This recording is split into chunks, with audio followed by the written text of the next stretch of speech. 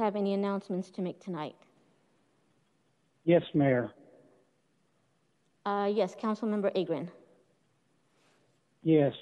I just, uh, first of all, I wanted to ask a technical question. Um, uh, is my image on the screen now or not for our, for television? Yes, it is. Great. Thank you very much. I want to uh, just take this brief opportunity to announce that uh, I've prepared a resolution which, by its terms, will implement provisions of the Build the Great Park Veteran Cemetery Initiative. As most of us recall, that is the citizens initiative that was adopted last May by the previous city council on which three of you sat, making it, that is the initiative, the validly enacted law of the city of Irvine. I've uh, just prepared a very brief uh, slide presentation here to take just a few minutes to uh, help communicate to people my intent to put before the council a resolution that would allow us to implement the will of the people as expressed in that initiative. I hope you have it on the agenda for the January 26th meeting. Uh, with that, uh, let me just proceed quickly uh, through the history and uh, status of the Veterans Memorial Park and Cemetery, which is on the ARDA site at the Great Park. Uh, next slide, please. As most of us are familiar with it, uh, this is a, map, an image of the Orange County Great Park, which is in the northeastern part of our city, owned by the city. 1,300 acres altogether, 125 acres uh, being the Arda Cemetery site depicted here in orange, and since, since uh, 2014, uh, slated to be the venue for the State Veterans Memorial Park and Cemetery. Next slide, please.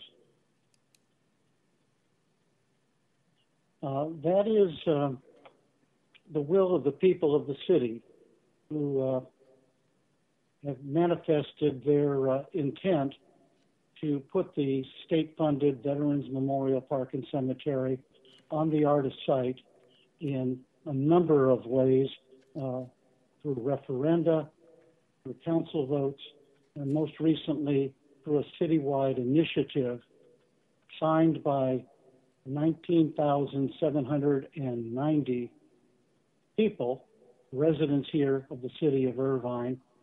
Uh, those signatures collected one at a time by volunteers. Next slide, please. Old people, young people, both signed and collected these signatures. Uh, it was an historic signature gathering effort in that it was virtually all volunteers who did this. Next slide, please. Again, as you'll recall, uh, the previous city council, when presented with the initiative petition, had a choice to either put it on the ballot for November 2020 or to adopt it verbatim at their May 20th I'm sorry, May 12th city council meeting, uh, which they did. And uh, I just uh, pulled out of this document two key provisions that manifest the intent of the people in signing and presumably the intent of the city council members in adopting the initiative language. I'm going to read this here. Uh, the people of Irvine enact this measure to instruct the city council that the city's residents prefer to locate the Southern California Veterans Cemetery on the ARDA transfer site and not at any other location in the city of Irvine, and do so by enacting this zone change ordinance to amend applicable sections of the city's general plan and zoning ordinance. Next slide, please. On the affirmative side of it, the people of the city also made clear what they wanted the ARDA site to look like. Um, Councilmember Agrin, yes, I believe you are um, asking for a second to your memo. Um, Maybe not do the entire presentation at this time? I'm, I'm sorry, what about a, a second, did you say? I was just did trying to say? make it clear if you could sum up um, that you are requesting a second to your memo.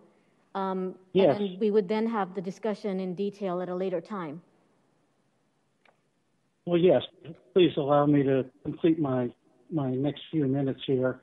And uh, then at that time, I would like to request a second, yes. In any event, the, this is the uh, ARDA site development on the affirmative side that the residents approved, uh, stating that this district is the location for the Veterans Memorial Park and Cemetery, and the district will be the exclusive location for a veteran cemetery. Structures determined to be of historic value may remain, and a perimeter system of trees, trails, and gardens for use and enjoyment by cemetery visitors and the general public shall integrate the district with Great Park and adjacent uses. Next slide, please. Now the challenge really is to translate that language and to implement the will of the people.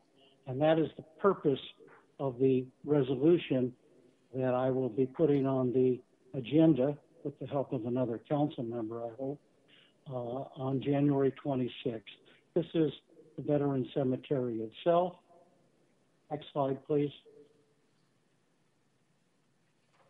This is uh, an image of the Memorial Gardens as imagined by, uh, by uh, a number of artists.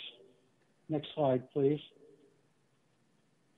And re- uh, retention of certain historic features, the iconic aircraft control tower, nearby hangars, part of the runway and tarmac as well. And finally, next.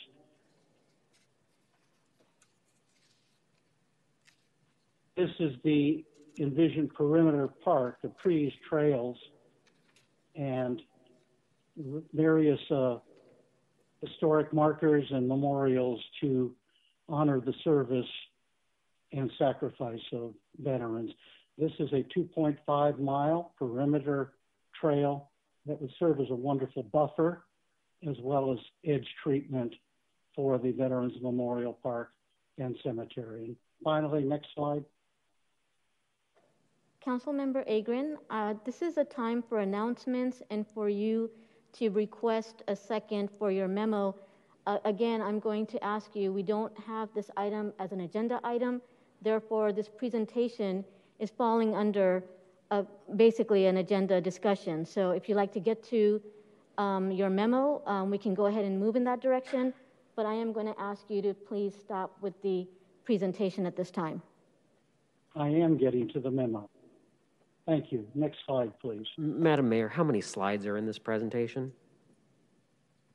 There are three more, I believe. Oh, well, I'm going to ask our The city memo- attorney to please clarify what council announcement time is for. Mayor, council announcement time is an opportunity for uh, council members to announce activities that they are engaged in. And we have said previously with regard to seeking uh, future agenda items that it was an appropriate time to ask for a future agenda item. Um, They are not a point in time to lay out an argument for a position on the future agenda item. Thank you. Councilmember Agran, if you'd like to go directly to your request to have a second on your memo, we can move in that direction. Well, very well, Mayor. Uh, just pictured on this uh, final slide is the resolution itself that I uh, made available to uh, uh, you and to the other uh, council members uh, this afternoon. It is the uh, resolution that I intend to introduce on the 26th with the help of one of my colleagues, I hope. I will I will stop at the moment and, as per your wish, simply make a request that uh, a member of the council uh, join as a second signature, in effect, to place this matter on the agenda for uh, the meeting of January 26th.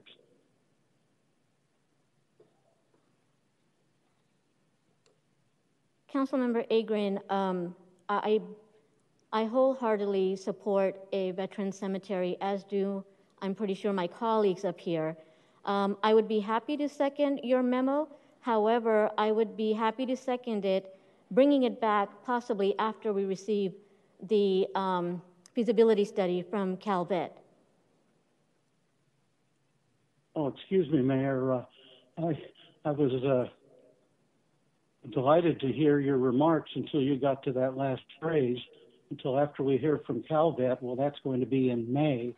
That obviously is uh, thwarting the intent of the memo and the uh, move forward resolution strategy, which is to commence construction by virtue of demolition, site clearance, retention of certain historic features, and to be able to do that within the next 30 to 60 days.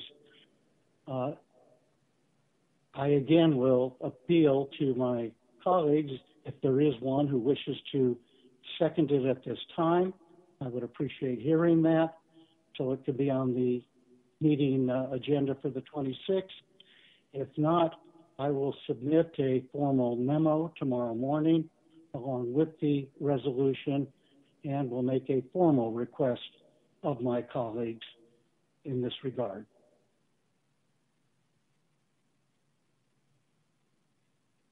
I don't hear a second, and therefore we will move on. If there are any other um, comments or announcements